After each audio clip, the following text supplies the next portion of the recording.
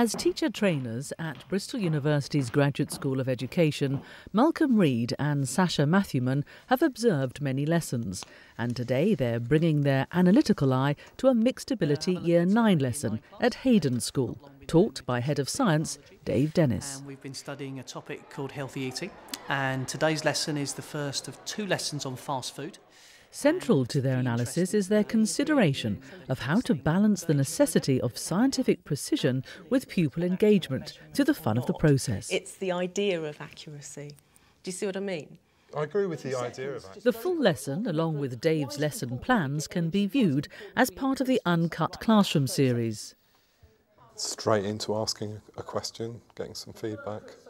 And Dave's reaction to Sasha and Malcolm's comments are posted on this programme's webpage. Today's lesson is about fast food, okay? And what we're going to do is we're going to do some tests on some foods, and we're going to think about is fast food any good? And we're going to think about the difference between something called a qualitative and a quantitative test. Should we pause there?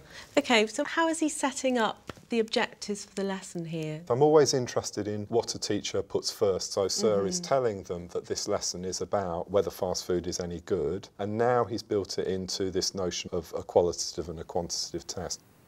For starters, Dave has chosen a newspaper article. Play fastest finger first, okay? So this is a um, routine, isn't it? We're going to play fastest finger first. He's got games that he plays that they're linked to learning. Obesity, okay? Obesity. What are the 16th and the 17th words on the Right, so this line? is a key word um, at two words this time. exercise, isn't it? This is another way of raising the key terms that he wants. That's neat. I like that. Snack culture. All right, and Snack what about culture. So obesity, chocolate, snack culture. Right. So there's a theme developing. This is about their attitudes and understanding more of the issues Our behind values snack about culture. food. Our Yeah, values and, issues and what's behind actually it. going on in the Yeah. food, I suspect. and- nice tactic. In that quick time we looked at this little newspaper article, what do you think it was saying? it's kind of telling you about how um, how the feeds are taking over people's lives and people getting too unhealthy. Very, very good. So, I went down to the burger place on the weekend and I bought myself a burger. Right? Now, this is fresh from Saturday. Never mind. And even better than this, fresh veggie burger from the canteen, fresh from Friday. How good is this going to be? Yeah? And what we're going to do, what we're going to do is we're going to have a look at what's in one of these fantastic veggie burgers. I think that's a really nice kind of relationship between the activity that they're going to be doing and the real lifeness of, you know, these are things which, uh, which come from their environment. So you're going to work as a team, if you like, to find out if the burgers contain fat and salt. And he's now trying to bring in some, some kind of idea of a scientific method as well. So how is he going to bring these two together? What's he hmm. going to make of these two ideas, the scientific method and the cultural context of food, healthy eating, obesity, all the things that he's The gherkin. I love the gherkin. Yeah, it's fantastic. Yeah? Now, So that's real personalised, isn't is it? that in my veggie burger, I've got no gherkin. So what have we got to do if we're going to accurately compare these burgers?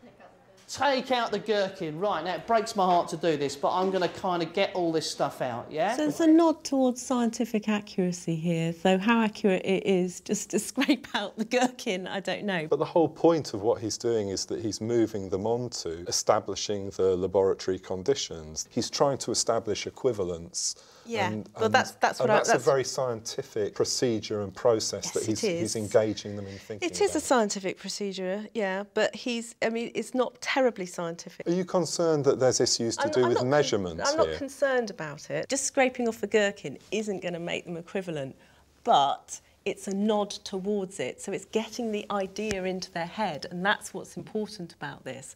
Malcolm fast forwards to the practical. How precise will Dave's class be? Would he favour precision over process?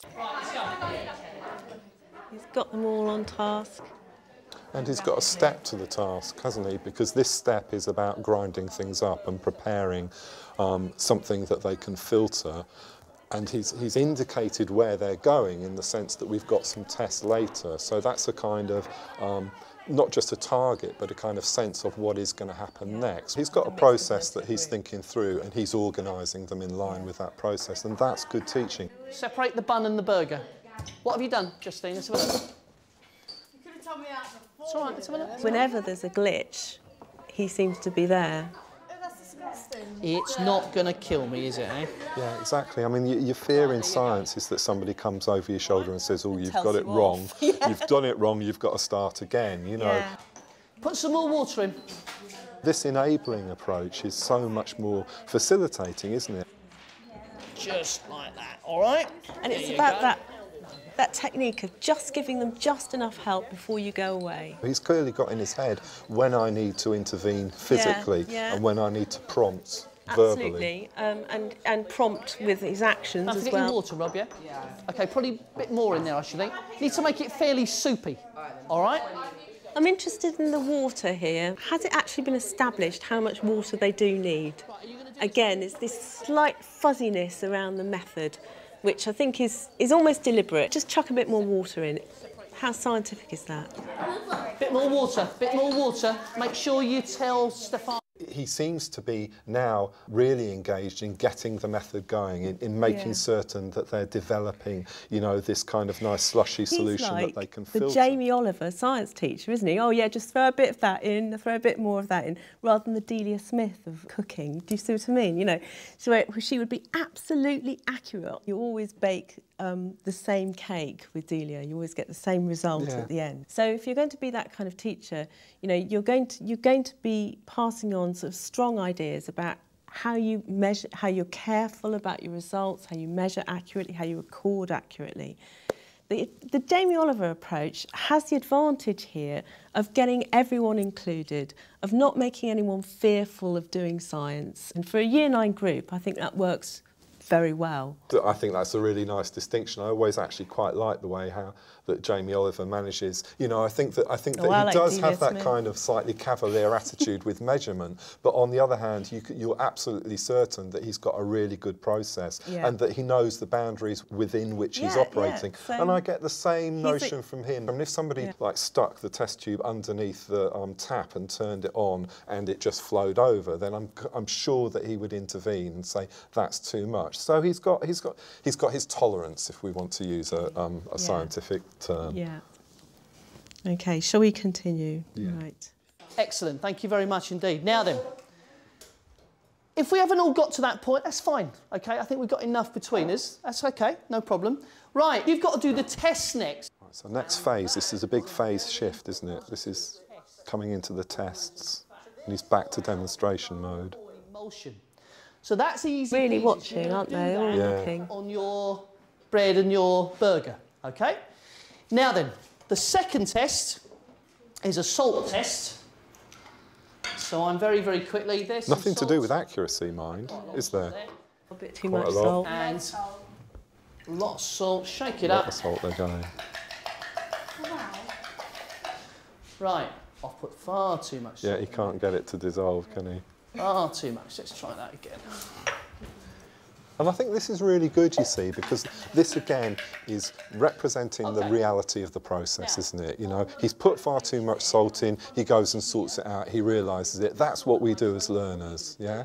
So, So you know, it gives them license to make similar mistakes, to stop, to start, to try again, um, without feeling bad about it. In a yeah, brilliant. I mean, absolutely brilliant. Sasha scrolls on, scanning for examples of trial and error learning. Yeah? Okay, half, half, half, half, half.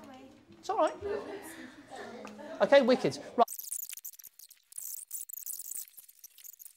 Oh, a big one, big squirt. Oh. Don't get my. Fantastic. Right, now give it now give it the shake. Go on. That's it. Okay, just put all the apparatus down on the table for me, please. Eyes on me, please. Eyes on me. Okay. Right. On the boards, I want you to write down what your group has found out. Malcolm runs on to the conclusions. What has the experiment actually proved? David, please get your fingers out of the way. We found out that the veggie burger has more fat than the hamburger. And a couple from here, we learnt that there is salt and fat in both veggie and beef burgers. And there's a big picture. Show us your, show us your picture. There's a load that he could be doing with these responses, actually. Oh, he's moved on. Okay, pens down on the. Uh, Right, so that evidence and all of that display of evidence has actually just been stopped there and then. There, there's no see. interrelationship with them. Well, let's see what happens. Good. Okay, next lesson. You've told me about two things today. Things. This is like his Found out about objectives coming in again. Burgers and what's in it. Wednesday's lesson is going to pick up on that. Okay? And what I'm really, really interested in is how important is it that these things got fat and salt in it? And is it good or is it bad? Okay? And did we really find out how much Ah. fat? Or did we just find out it had fat? Can we just Yeah, pause it there. I mean, I just wonder why doesn't he immediately, if he knows that the test didn't um, didn't show which had more or which had less, why doesn't he address that now? What's happening to me is that he's trying to make a bridge into the next lesson. He's trying to value what they've done so mm-hmm. far. He's also clear that this is a lesson which is part of a double lesson, if you like, so it's mm-hmm. halfway through a mm-hmm. process. Maybe what he's going to suggest is that the next lesson is where they have to be more critical about the method, about what they've done. In which case, that's a quite a good Yeah. learning point. Last thought with you. Okay, we didn't quite get to this. Jamie Oliver, right? He's done a lot of work, as you probably know, on school dinners. Okay? Thought to leave you with. Was Jamie Oliver right to do what he did? Was Jamie Oliver right? You put, you put my healthy stuff in and then just They really want to discuss this, don't they? Yeah, they do. Even though the That's, bell that's a discussion we can have. Happy to have That's that discussion. discussion we can have neat. Okay? That's nice. All right. You've been absolutely fantastic, everybody. Can you just pause? What's really commendable and really motivating about the way in which he ends this lesson is that the pupils go out of the science classroom with reasons to think about what they've been doing within the science classroom in their everyday lives. And I think any teacher would be proud of the idea that children walk out into the wider world still thinking about the issues that they've engaged with. I guess in the And what of the pros and cons of the Delia Jamie teaching methods? Like Dave's class, Sasha and Malcolm's debate continues long after the I bell. suppose it would depend if you if you were moving up the schools, say if this was a year 11 class or Yeah. A level, you would have to be moving to a much more formal style of science, perhaps, or a form, formal measurement. Yes. Yeah. But in, in this case, with year nine, he can afford to be a bit looser. Yeah, this is more opinion. It is coming back to the notion of being able to talk about what you're doing and think through the process and have an opinion at the end of it. Yeah. Interesting.